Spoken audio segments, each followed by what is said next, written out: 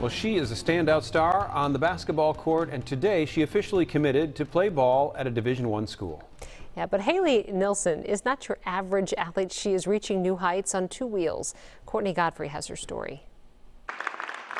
It's signing day at Edina High School, and Hayley Nilsen is committing to the University of Arizona.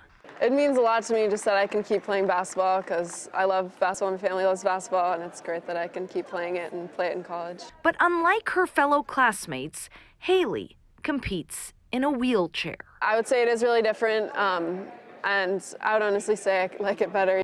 Diagnosed with muscular dystrophy at five years old, Hayley's mobility has declined over time. And in eighth grade, she had to make the difficult decision to switch from able bodied basketball to wheelchair basketball, joining Courage Kenny's co ed team and finding a new passion.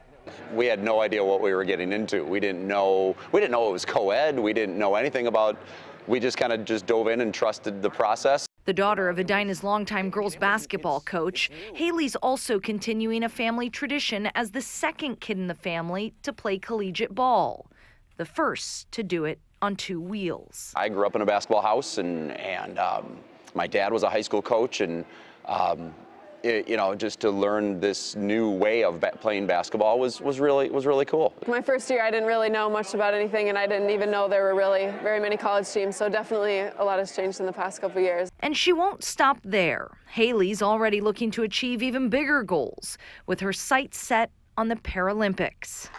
For her parents, proud doesn't begin to describe it. Can't put it into words. It's it's great. It's exciting. It's you know, and we're just ready for a new adventure.